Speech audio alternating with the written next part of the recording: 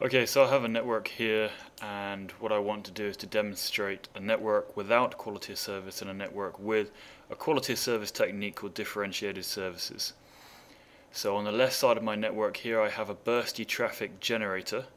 I have a, a background LAN that's just generating some background traffic on my very basic network. I have a video caller to use up some bandwidth and I also have a voice caller and I want to enable quality of service for my voice caller here. On the right hand side I have my video called and my voice called uh, workstations and I also have my background server. Now the application I'm using for voice happens to be the, the highest possible quality PCM encoded quality speech.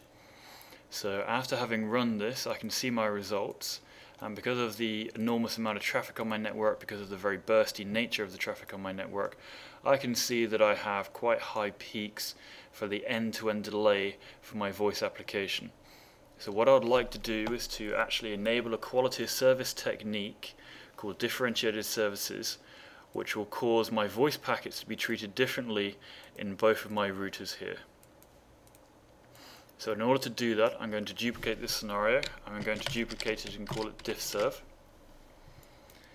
I've now duplicated it, and what I need to do is enable quality of service across all of the links that are involved in this communication. So it will be this link here from the voice caller to my first router, between the two routers, and then from my second router to my voice call. Note this isn't a particularly realistic network, but at least it proves the, uh, the point of, of uh, a quality of service technique, differentiated services. I'm going to enable IP quality of service. I'm going to go into configure quality of service and I'll do this.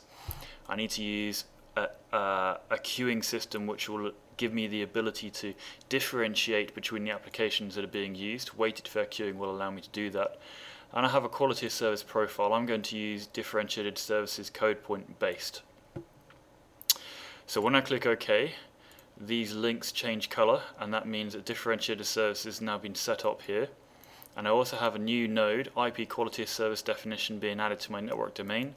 If I have a look at that, I have I can view my weighted fair queuing profiles. Of course, I just set up DSCP based, and we can see here that the queue configuration, my my lowest quality is assigned to assured forwarding 11, 12, 13, and then as we go up in quality, um, 21, 22, and 23 uh, assured forwarding classes, and we can see this is assigned a, uh, a, a this particular group is assigned a weight of 10, the group before was assigned a weight of 5, and we go down until um, expedited forwarding, which I'm going to apply to, to voice, and that is assigned a, a weight of 55, um, meaning that it is serviced much more often than, for example, anything that I set at a assured forwarded class uh, 11, 12, or 13. So I then need to set my application so that the type of service associated with my voice traffic is going to be expedited forwarding. So I'll set that up now. My differentiated services code point, I'll set that up to being expedited forwarding. I'll click OK and then have the whole of that set up and I can now start a simulation. This will take a long time because I have rather a large amount of traffic on my network. Um, so we just have to wait for that to simulate for as long as I, I think we need to show the, the point on the network. So what I've done is I've set up the queuing profiles on uh, the interfaces that connect my route from my voice caller to my voice called and I've set up those queuing profiles so they differentiate between the types of traffic and they give more service to my voice traffic. So I'll stop that now. I'll have a quick look at that and what we can see is whereas before my voice traffic was all over the place I now have a fairly constant line. I can show all of my scenarios here I'll overlay them and you can see there is a considerable difference between my, my blue dots, my no quality of service, and between the red dots that show my differentiated services.